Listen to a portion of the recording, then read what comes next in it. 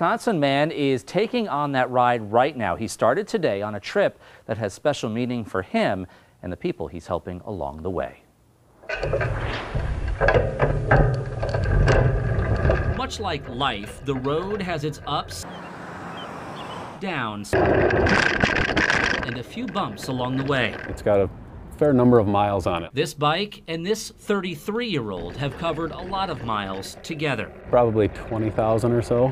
6,000 just from that trip. That trip was 11 years ago, the first time we caught up with Aaron Coonan. Hopefully, I'm halfway prepared. Back then, he was training for a cross country track. At the time, he was a college student in Milwaukee. That summer, he rode from Alaska to Florida raising money for cancer research. Roll ahead to 2016, Aaron is eyeing his next big ride.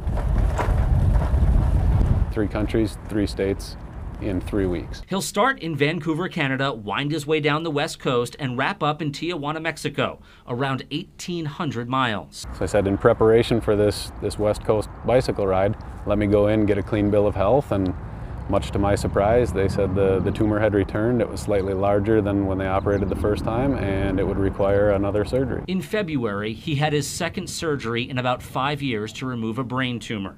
Now he's back on the bike, staring down the road ahead and thinking of where he's been. He's taking this on for himself and others. Aaron's Ride is a fundraiser for the Ronald McDonald House, which gives families a home away from home when a child is receiving medical care at the hospital. They stay at little or no cost. The trailer that will hold his camping gear also holds a sign directing anyone who sees it to his website to raise money. His target is $27,000. That's the rough estimate, at least from the, from the global organization, of what it takes to, to fund or provide for a single family. A single family's stay for one year.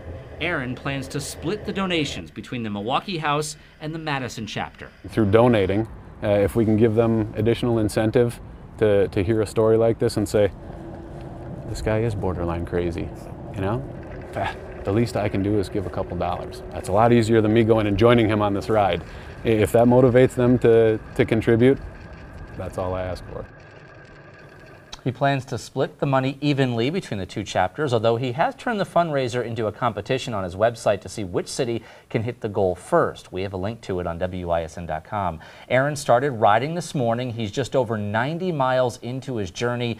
He says the doctors gave him the okay to ride, and he has an MRI planned after his trip to determine any, any further treatment that he'll need in hopes of preventing a third operation.